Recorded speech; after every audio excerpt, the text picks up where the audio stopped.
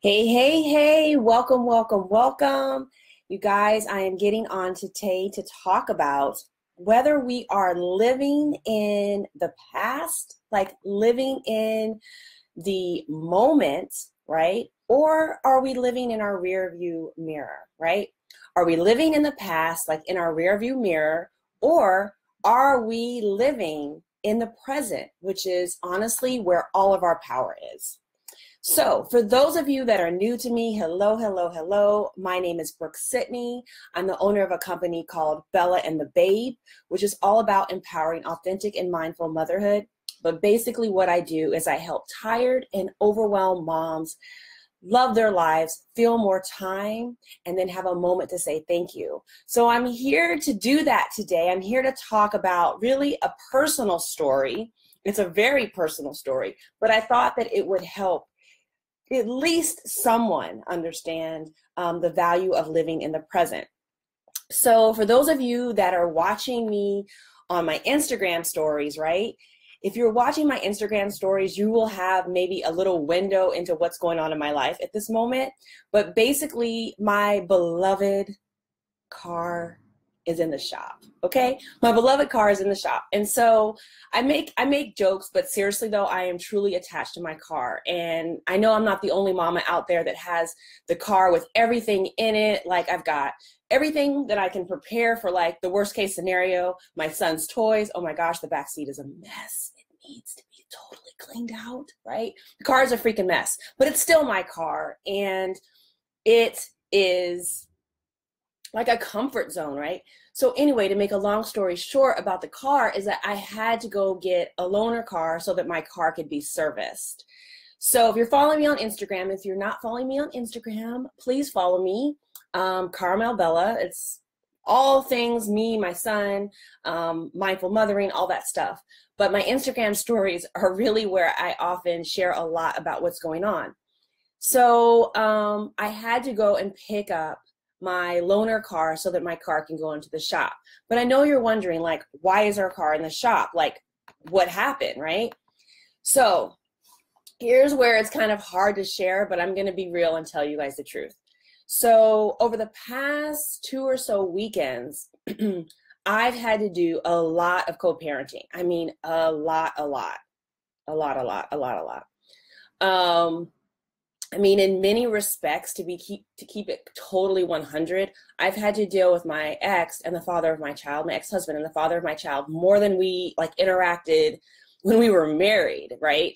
And so, what that has done for me, if I'm really honest and I'm being transparent here, is it's brought up ambivalence, it's brought up like emotions, because I don't know um, if you've been through divorce, but divorce is hard, especially if you have children and whether or not, and I know that it was, whether or not divorce was the right thing for you and your family, it still doesn't matter about how it ends up still being hard. Like it is totally hard. It's a major change in your life. And it's been a major change in my life. And quite truthfully, what I thought my life would look like. That's not to say that I don't love the life that I have now and that I'm not um, that I've not become better instead of bitter. If you've heard me talk about that, it still doesn't matter. At some points in our life, we'll have what I call like reflection periods. And so I realized, hmm, that I was living in this reflection period. I was rerunning old some old stories. I was talking about um, oh, just so much stuff that dealt with him that it was bringing up a lot of thoughts, ambivalence, and quite truthfully, some sadness, some grief, because it was a loss. Good or bad, it was a loss. So, you know, that is the truth of where I've been living probably for the past two weeks, especially with my son's birthday and just so much going on, so much goodness going on, but then also so much opportunity to look backwards, like look at the past. So then guess what happens? guess what happens? On Saturday, I am driving just to go grit, just to go grab something quickly to eat.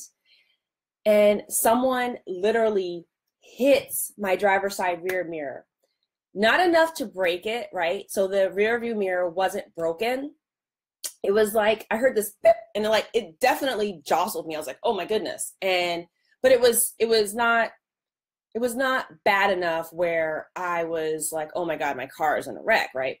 But enough to be like, oh my gosh, I wonder how my mirror is. So my my rear view mirror kind of folded in on that side.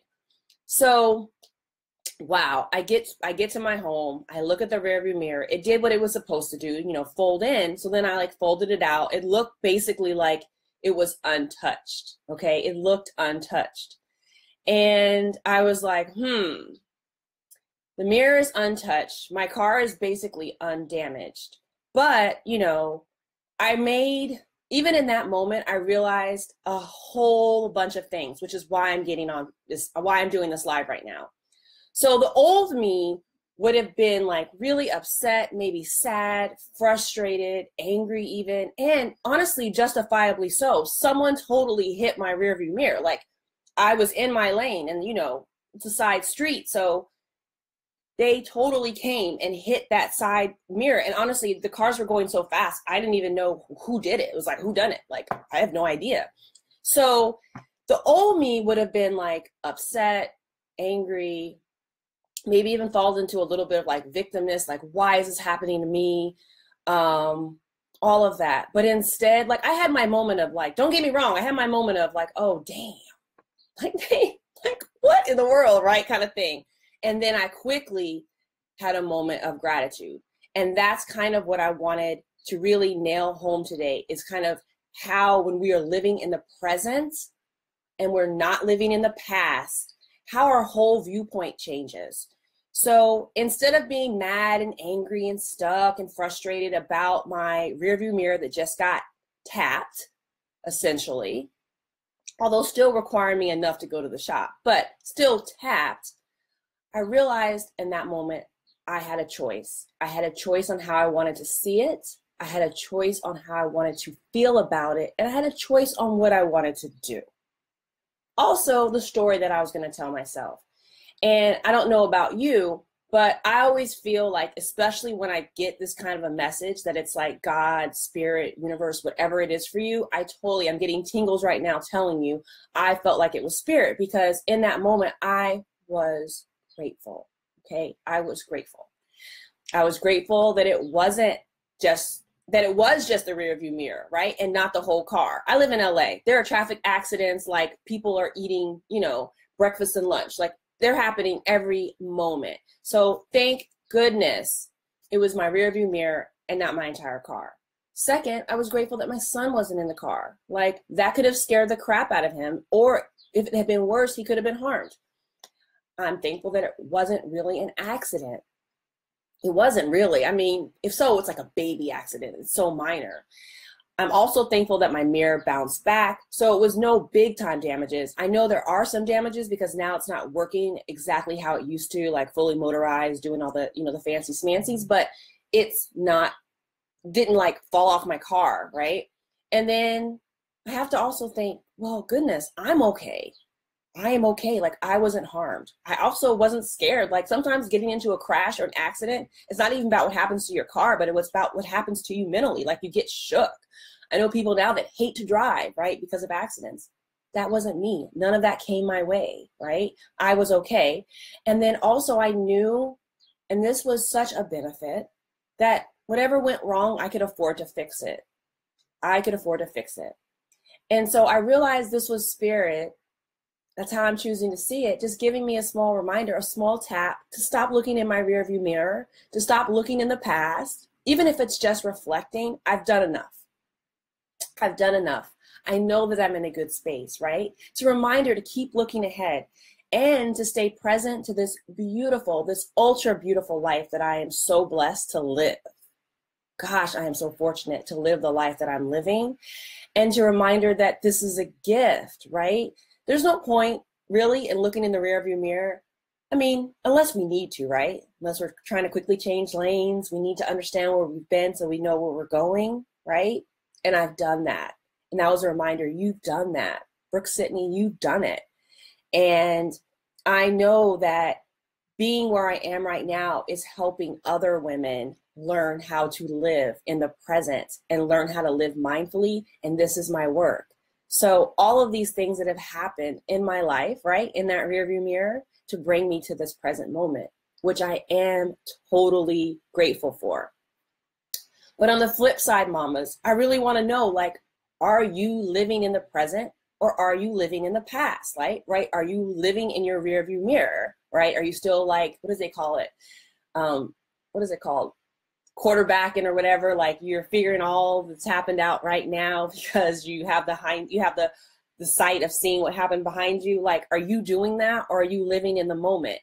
And you know i've learned a lot through my mindfulness practice my mindfulness teaching obviously through my meditation through prayer and journaling right? I have learned how to love myself better so that i can love my life so that i can see these benefits see these things that happened to me, these things that could have been like a huge bump in the, a huge like pothole are now like bumps in the roads, right?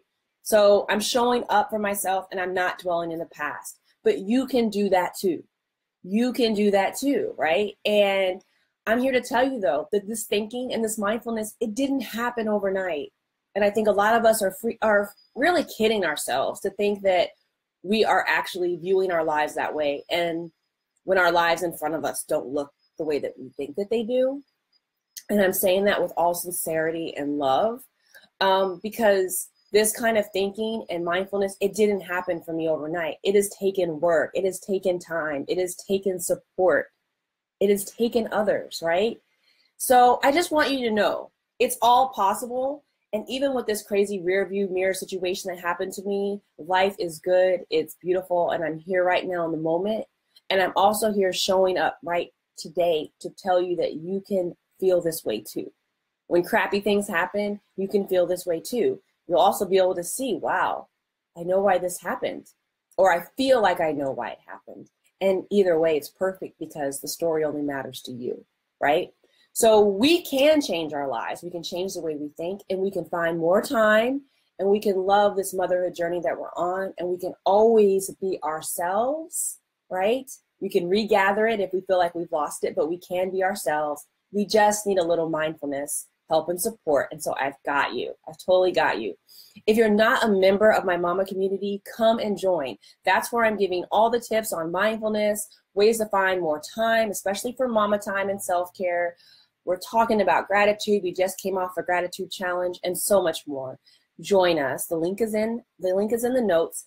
And then if you're looking for more personalized and customized support or attention, or you really want to make this your mindfulness year, you really want to shift things in your life, feel more happiness, abundance, in, check in with me. I've got Mindful Mama sessions and it's bit.ly forward slash BB Mindful Mama.